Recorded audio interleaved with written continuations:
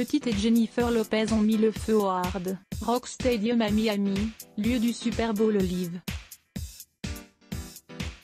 Gillo a interprété un medley de ses plus grands tubes, avec l'aide de sa fille M.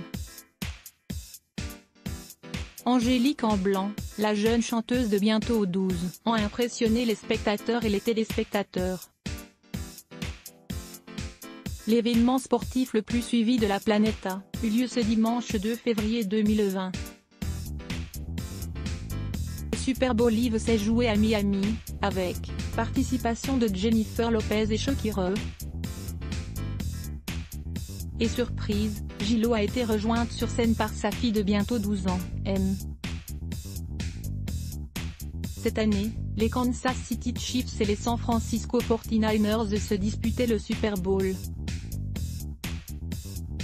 À la mi-temps, Shakira et Jennifer Lopez ont régalé les spectateurs et millions de téléspectateurs qui suivaient la rencontre.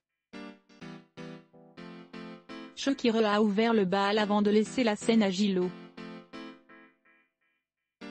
qui est entré sur la chanson Jenny from the Block.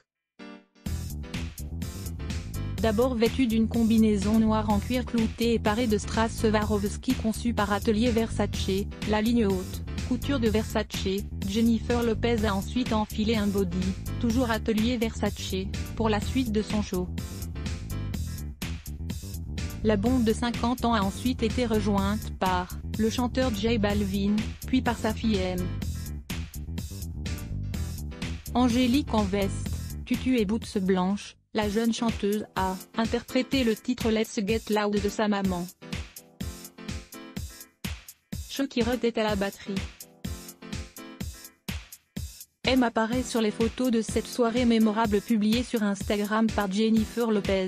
Sur le terrain, les Kansas City Chiefs ont battu San Francisco sur le score de 31 à 20. Les vainqueurs ont ainsi remporté leur premier Super Bowl depuis 1970, année de la fusion des ligues American Football League, AFL, et National Football League, NFL.